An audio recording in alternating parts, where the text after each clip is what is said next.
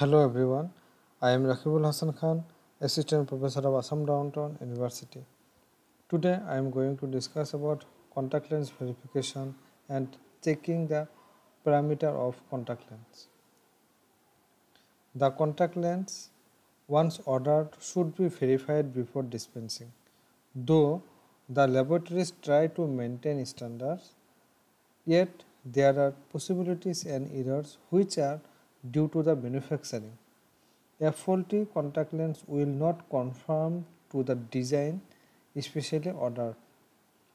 Simple equipments that can be a part of the contact lens clinic can verify the parameters but some parameters need sophisticated equipments which can be done in the laboratories. Here when we are going to dispense a contact lens, in that time we should verify the parameter of contact lens though in laboratories they are maintain the standards. Maybe some error are there which are due to manufacturing effect. Some verification we can do in our optical but some verification we can do in our optical. In that case, we can do it in our laboratories.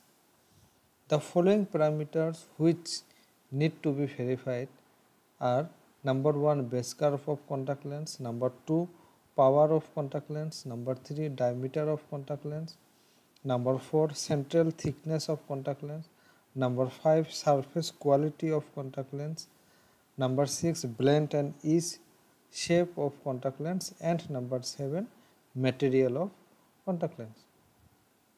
Next, number one, base curve. Base curve of contact lens we will measure with these two instruments.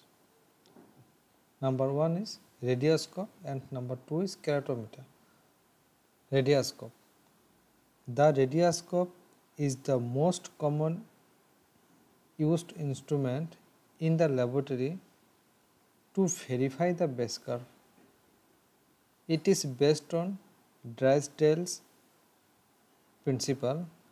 If an object is placed at the radius of curvature of the curved surface, the real image created by the instrument acts as an object and will form an image at the second focal point.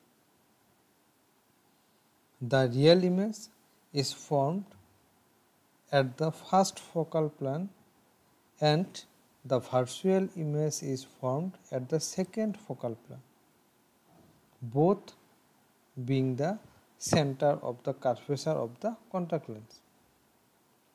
Here for base curve verification we can use radioscope. The principle of this instrument is if we placed a object at the radius of curvature of curved surface then create a real image by radioscope instrument and it will form an image at the second focal point. Next, the lens RGP in dry state soaked at least 24 hours before and the soft contact lens in wet cell with 0.9 percent saline is kept with concave side up on the lens mount. The first focal plane mires are focused. The reading in set at 0 at this position the dial is further moved to focus the second set of mires which is the second focal point. The distance between the two focal points measure the radius of curvature which is read from the dial. In case of toric contact lens, the mires will have two set of lines perpendicular to each other which will be focused separately. A wrapped contact lens will show to definite base. Here for RGP contact lens base curve verification, we will dry the contact lens at least 24 hours before and the soft contact lens will wet by 0.09 percent saline and concave side of contact lens should be up. Here first we will focus the plane mirrors and the reading set at 0 at this position.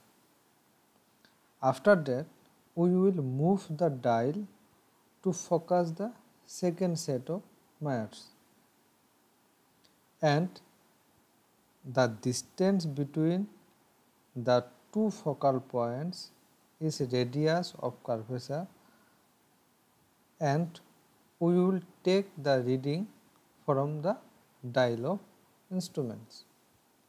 In case of toric contact lens, we will set the two lines perpendicular to each other which will be focused separately. This procedure is similar as in keratometer procedure. Next, keratometer. The keratometer can also be used to verify the base curve but though not very accurate. The setup is modified with the contact lens holder and a mirror attachment. The lens is held with the help of this holder and the readings taken same ways the keratometer is used. Next, number 2 power verification. Here we are using focimeter and lensometer. This one is lensometer and this one is focimeter.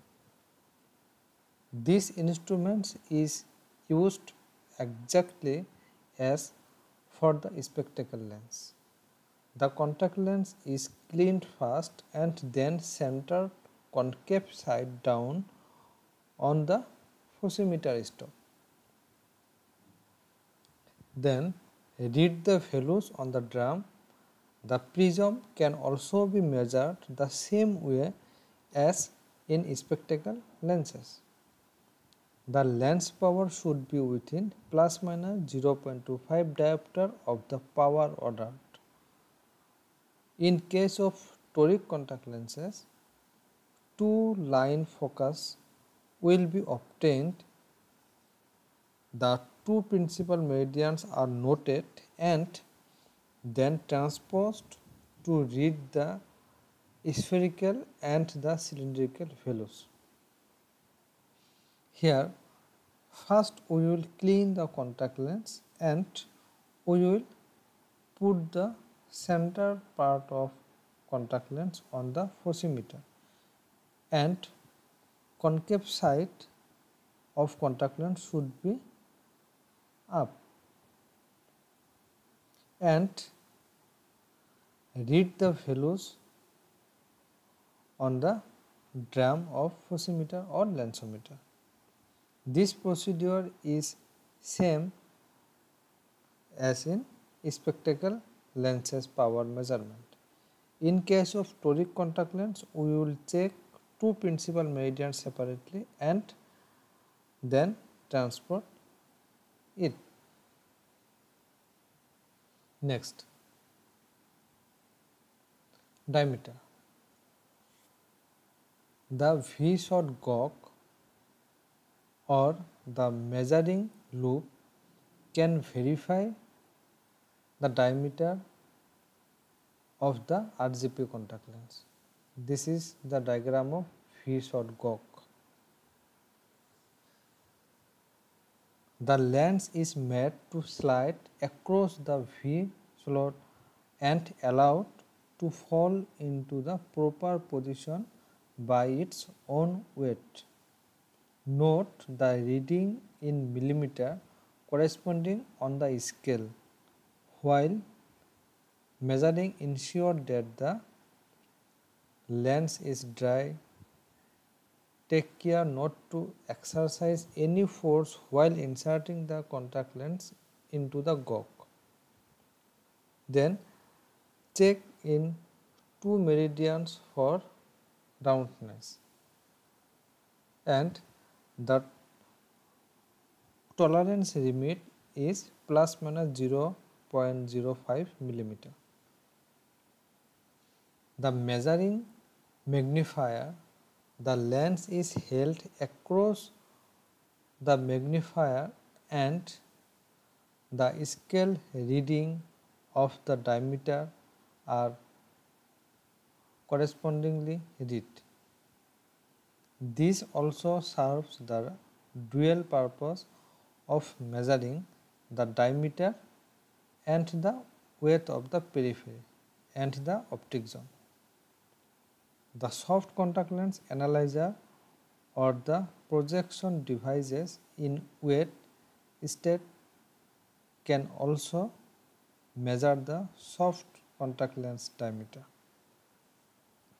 Here we will verify the diameter by V-slot gauge instruments.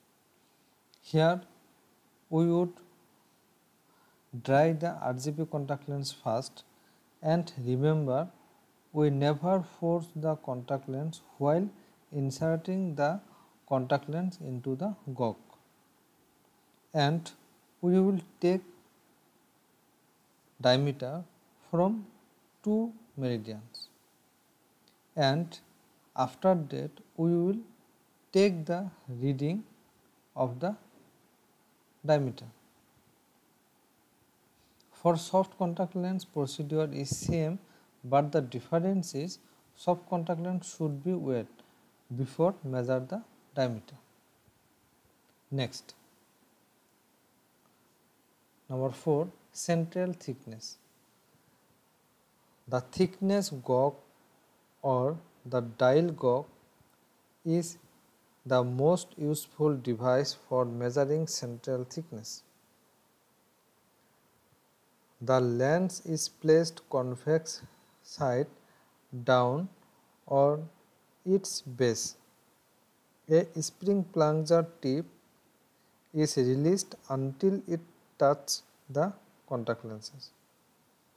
The thickness is read directly on the gauge. Ensure the zero error beforehand. Here we will check first the dial is on the position at 0 or not. After that we will place the convex side of contact lens and the spring plunger of instruments released until it touch the contact lens. After that we will take the reading from the gauge. Next number 5 surface quality.